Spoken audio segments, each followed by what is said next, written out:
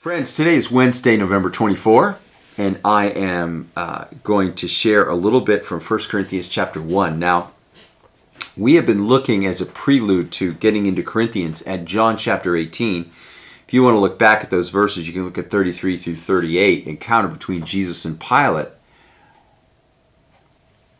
on the question of what kind of a king Jesus was. And Jesus said, I'm, a, I'm someone who came, my kingdom is not of this world, I came here to testify to the truth the cynic Pilate didn't make much of an impression on him. But um, then we get to contrast this with Paul, where Paul um, says something extraordinary about this King Jesus. 1 Corinthians 1 18 through 20. Let's listen for God's word. The message about the cross, you remember Pilate sent Jesus to the cross. He, he accepted the acclamation of the crowd that Jesus should go to the cross but he was the one that had the authority. The message about the cross is foolishness to those who are dying, perishing. But to those of us who are being saved, who are in the process of being made new, it is the power of God, the dynamis. For it is written, I will destroy the wisdom of the wise, and the discernment of discerning I will thwart. This is a quotation. Where is the one who is wise? Where is the scribe? Where is the debater of this age? That's a, you know, the Greek philosopher, the expert on debating.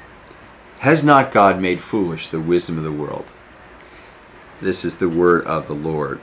Let's go back to Pilate for a minute.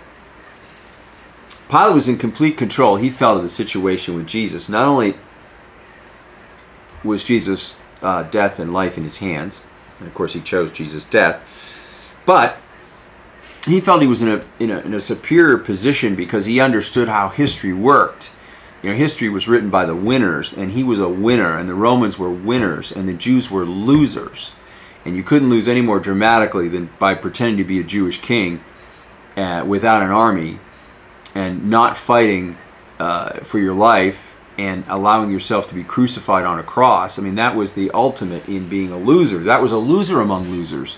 In fact, death on a cross was reserved, a uh, uh, death for slaves. If you were a citizen, you were never killed on a cross, no matter what crime you committed, uh, because a cross was seen as such an experience of shame.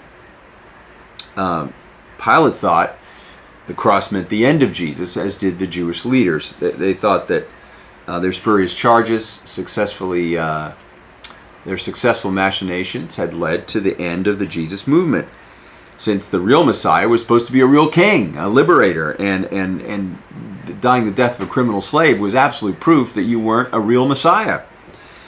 And yet, here we have Paul writing to the church in Corinth just a few years afterwards, and the Jesus movement is growing and spreading. it's, a, it's a shocking, uh, shocking thing to Pilate and the Jewish leaders. The truths that Jesus proclaimed, that he witnessed to, were finding an echo in people's hearts. They were commanding quite a lot of assent. And many people were actually not only living by his by his insights, but were dying on, on behalf of these truths.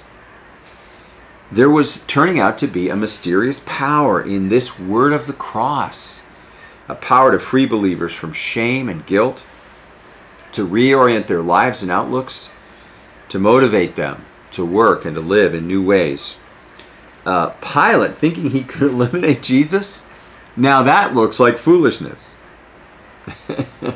it's quite a reversal, isn't it? Let's take a moment and pray. Lord, we learn from today's scripture that raw power has its limits. It cannot win hearts and minds, and it cannot compel love.